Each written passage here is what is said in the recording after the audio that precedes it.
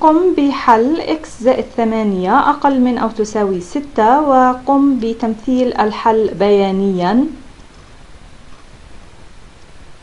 إذا لدينا x زائد ثمانية أقل من أو تساوي ستة.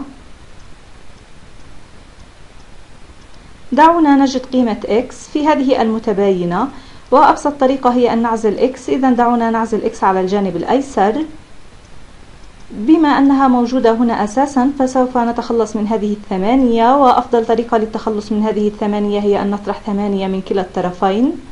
إذا دعونا نطرح ثمانية من كلا الطرفين وهذا لن يغير من آه، اتجاه المتباينة إذا في الجانب الأيسر آه، x زائد ثمانية ناقص ثمانية يتبقى x. في الجانب الأيمن ستة ناقص ثمانية تساوي ناقص اثنين ولا يزال لدينا أقل من أو يساوي. لقد قمنا بحل المتباينة لدينا x أقل من أو تساوي سالب اثنين إذا دعونا نقوم برسمها على خط الأعداد. ذلك هو خط الأعداد. دعونا نضع الصفر هنا ربما إذا آه، انتقلنا سنضع واحد ثم ننتقل إلى سالب واحد سالب اثنين سالب ثلاثة.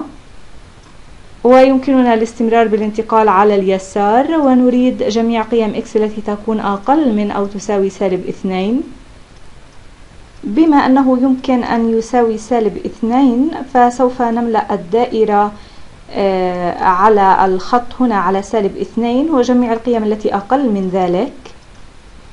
إذا كانت أقل من أي إذا لم يكن إشارة مساواة فسوف نضع دائرة مفتوحة لكن بما أنها أقل من أو يساوي فعلينا أن نغلق هذه الدائرة. ثم إننا نريد جميع القيم الأقل من ذلك. ويمكنك أن تجرب عدة قيم وتتحقق من نجاحها بنفسك.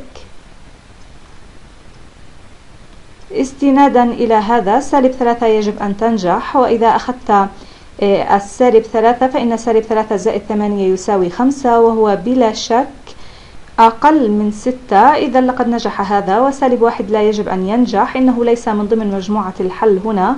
دعونا نجرب ذلك. سالب واحد زائد ثمانية يساوي سبعة وهو بلا شك ليس أقل من ستة. إذا من خلال التجريب ببعض النقاط يتبين أننا قد حصلنا على الحل الصحيح وانتهينا.